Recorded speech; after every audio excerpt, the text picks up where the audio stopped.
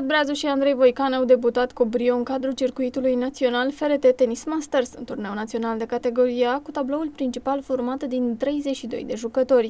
Vlad Breazu făcând pereche cu Mihnea Zaharia de la CS Major București a câștigat turneul de dublu la categoria 12 ani, iar în proba de simplu el s-a clasat pe locul 3.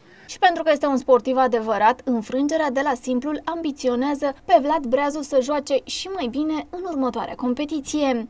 Toți adversarii mei au fost foarte buni și toți jucau foarte bine.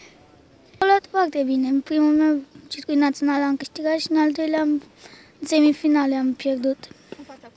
Fața lui Chiriță Ioan Alexandru. Vins în trei seturi, un meci care a durat destul de mult și a jucat mai bine ca mine.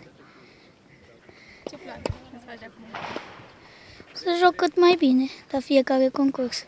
Pe lista reușitelor înregistrate de curând de Vlad Breazu se adaugă și trofeul cucerit la competiția Cupa Pro Tenis pe echipe, care s-a desfășurat la București. S-a desfășurat pe grupe și s-a desfășurat uh, grupa 1-8 și 9-12.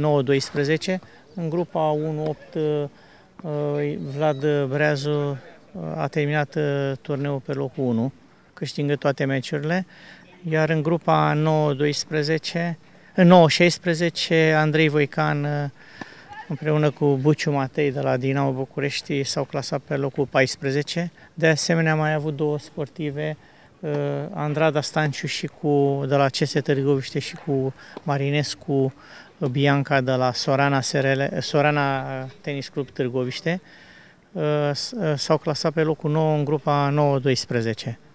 În următoarea perioadă, Vlad Breazu se va pregăti pentru a se prezenta într-o formă maximă în cadrul turneului internațional Dinu Pescariu. Care e următoarea competiție la turneul internațional de la domnul Pescariu din București. O să joc cât mai bine cu toată lumea.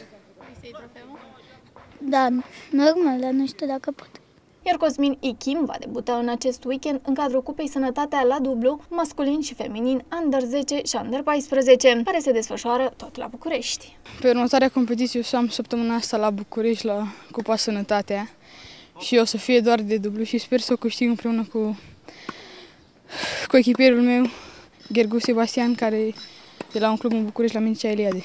Da, am doi prieteni acolo care voi juca împotriva lor. Nu știu în ce tur, dar de-abia aștept. Și cum o să defilezi pe teren în cazul ăsta? O să fie milă de ei sau... Nu cred că o să fie milă de ei, deoarece sunt prieteni cu ei în afară și dușmani în teren.